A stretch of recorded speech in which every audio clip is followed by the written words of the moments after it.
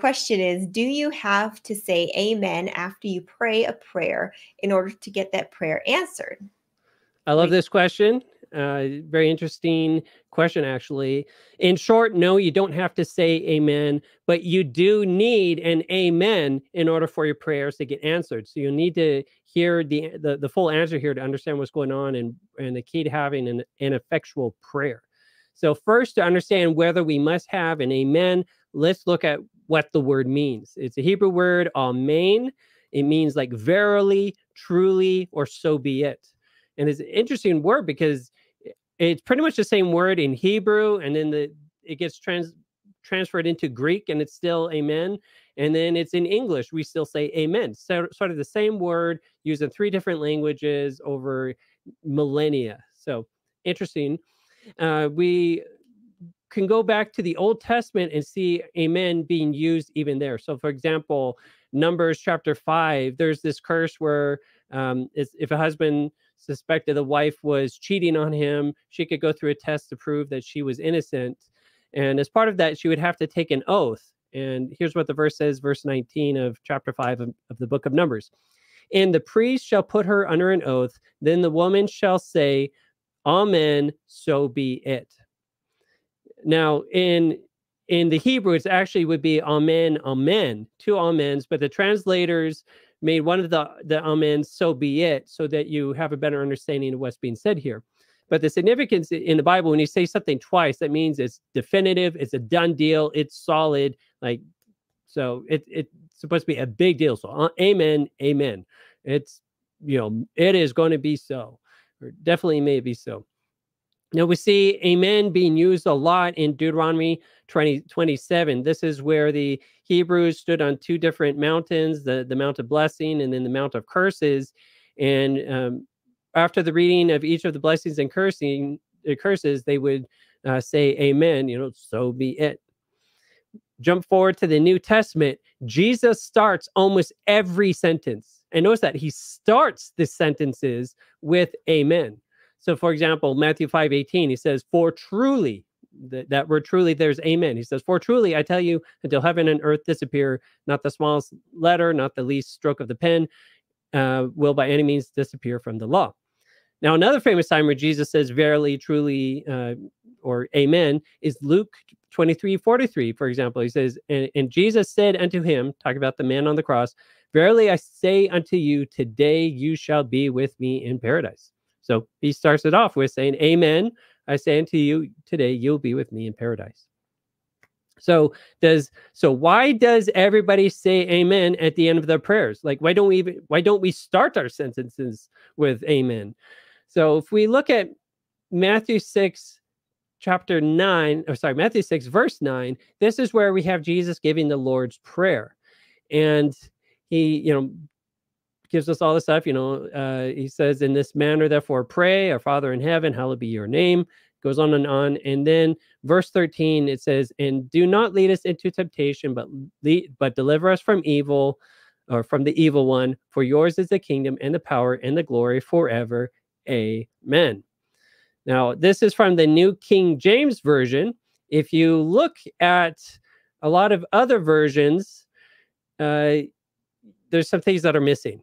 And so there's actually a lot of scholarly debate about whether Jesus even said amen at the end of this prayer. Because I know Jesus says amen all the time, but he usually says it at the beginning of a sentence. Um, the version of the Lord's Prayer of Luke 11, um, in lots of modern translations, translations leaves out amen. In fact, they leave out a lot of that last sentence. So here's Matthew 13 from the NIV. It says, And lead us not into temptation, but deliver us from the evil one. Period. So none like, you know, for thine is the kingdom and the glory power. That's not in a lot of more modern translations. So which version is right? Well, regardless, uh, uh, you know, amen becomes a very popular way of ending prayers for Christians, especially even like in the uh, very early church times. Many Christians start ending their prayers with amen, uh, which suggests to me that uh, it was very likely that the true original transcript of Jesus giving the Lord's Prayer did end with amen. To me, I think that's good proof that a lot of Christians start using amen um, as a result of that. Uh, probably as a result of this. Um, but it is ironic that we just sort of automatically start dropping this word at the end of our prayers because Jesus uh, not only started his sentences with amens, didn't end usually them with it, but also just before he gives the Lord's Prayer, this is how Jesus starts it. He says, And when you pray, do not use vain reputa- repetitions as the heathens do, for they think that they will be heard for many words. Therefore, do not be like them, for your, bro- your Father knows the things you have need of before you ask Him. So, prayer isn't supposed to be this thing where you just say these magical words, you say the right words, and then things will happen. No, Jesus wants prayer to be something of the heart. Even the Lord's Prayer is a guide, but that's not something that we should just say word for word. But you know, let it be illustrative of the things that should come out of your heart that you praise God for and ask of Him. Uh, and an important thing is, is said there is God already knows what we want. And sometimes we don't even know how to pray for the right thing or even put into the right words what we want. And God has the solution for that. Romans 8 26, it says, the Spirit also helps in our weakness, for we do not know what we should pray for as we ought, but the Spirit Himself makes intercession for us with groanings which cannot be uttered. Uh, and and we have this amazing prayer too about how like in Daniel chapter nine verse twenty, uh, Daniel's praying this amazing prayer um, for God for forgiveness of his of him and his people for Israel, and then Gabriel shows up and he says, "Well, or, uh, yeah, he it says, Well, while I was speaking in prayer, the man Gabriel, being caused to fly swiftly, reached me and he informed me, Oh, Daniel, I have now come forth to give you skill to understand. At the beginning of your supplications, the command went out, and I have come to tell you. Uh, in fact, I, I, think this is sort of fulfillment of this verse that Jesus said, "You'll even before uh, you ask, it shall come to pass." Uh,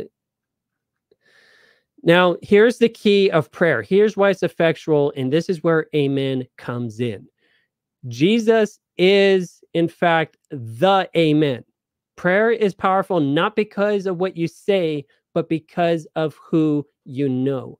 John the Revelator, uh, he hears the following words in Revelation 3:14. It says, "And to the angel of the church of the Laodiceans write, these things says the Amen, the faithful and true witness, the beginning of creation of God. So it's referring to Jesus, and he's called the Amen.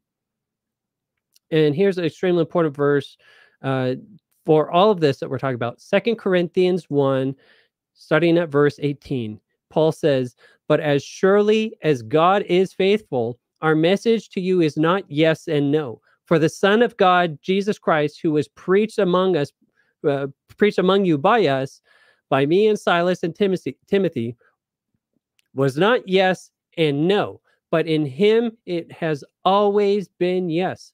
For no matter how many promises God has made, they are yes in Christ. Yes in Christ. And so through him, the Amen is spoken by us to the glory of God. So, did you catch that? It is through Christ that the Amen is spoken by us to the glory of God. Christ is the Amen. And He is the one that gives power to our prayers. It is through Him and His His merits, His His connection to God, His righteousness, His glory, His love, His power that our prayers get answered and are um, are given effect. So it's not the magic words; it's our relationship with Him, our connection with Him, that will will will add that amen to our prayers that makes them get answered. So so hope that is helpful for anybody who's struggling with prayer and, and wanting to understand it better. Tina, anything you would like to add to that? Yeah, really quick. Uh, two two quick things. So absolutely, yes, Jesus is the Amen, and so that's really what makes it important. And I was just going to add to that. A lot of times, people say, "Oh, you have to say in Jesus' name, Amen," and I'm like, okay, which uh, it's true. I mean, it's it's not a wrong thing to say. Jesus tells us in John 14, 14, um, if you shall ask anything in my name, I will do it. So it's good to say in his name but you know again it's it's not just the magic word in jesus name.